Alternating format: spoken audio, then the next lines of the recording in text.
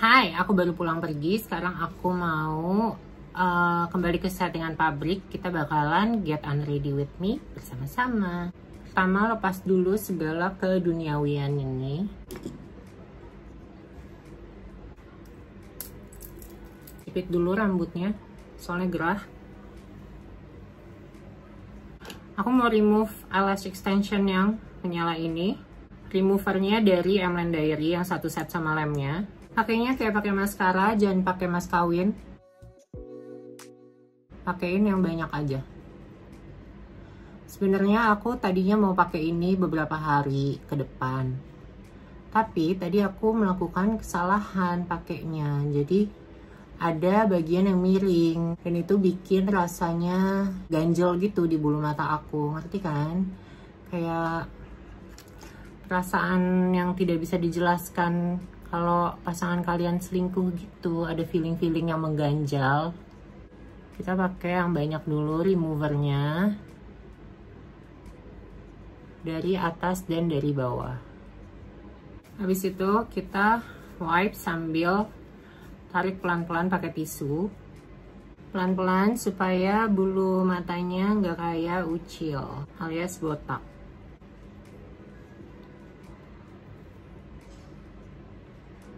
kalau susah tambahin lagi aja removernya.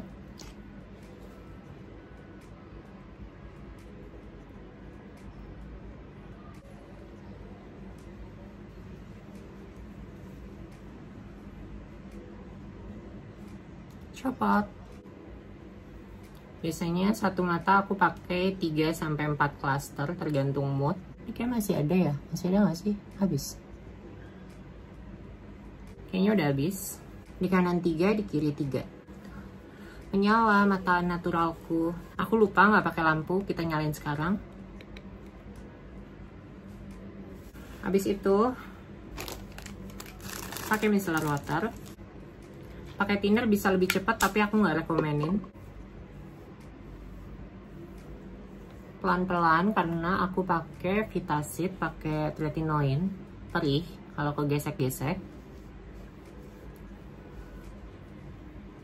akan kita hempas segala kedempulan dangdut ini.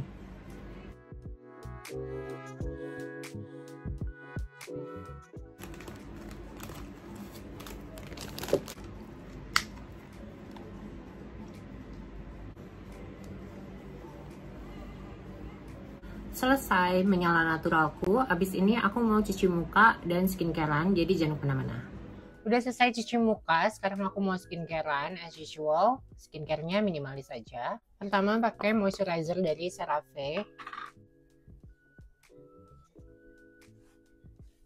Tapi make sure semua bagian kena ya nih seperti biasa aku merah-merah habis bersihin muka. It's okay nanti hilang.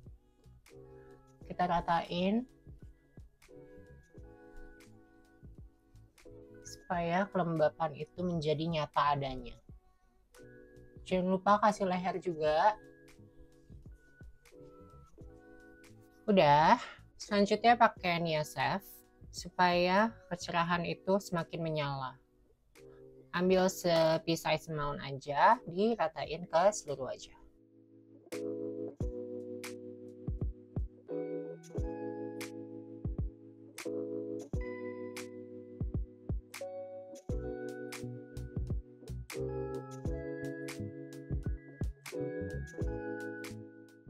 Terus sebelum ke step terakhir, aku mau pakai serum bulu mata dulu sambil nunggu NIASF-nya meresap ke kulit aku. Serum bulu mata dari Lash Boss. Ini yang untuk mata sensitif.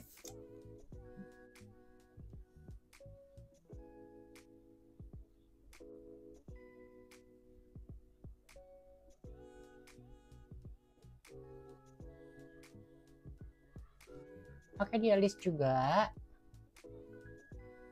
supaya dengan atau tanpa make up segala peralis dan bulu mata ini tetap menggelegar. Udah sekarang tinggal nunggu si niasefnya benar-benar meresap. Step terakhir di perskincarean perwajahan ini adalah tretinoin. Ini juga resep dokter ya jangan resepnya Devina Hermawan. Ambil sepisai lagi segini. Terus biasanya aku katain di tangan sini dulu baru dibaurin di muka dengan menghindari daerah mata dan juga samping-samping hidung dan samping bibir. This is one of the greatest skincare ever. Dan aku pakai supaya sampai tua nanti kulitnya tetap gebiar. Selesai, singkat sekali bukan skincare aku. Sekarang aku mau pakai lip balm.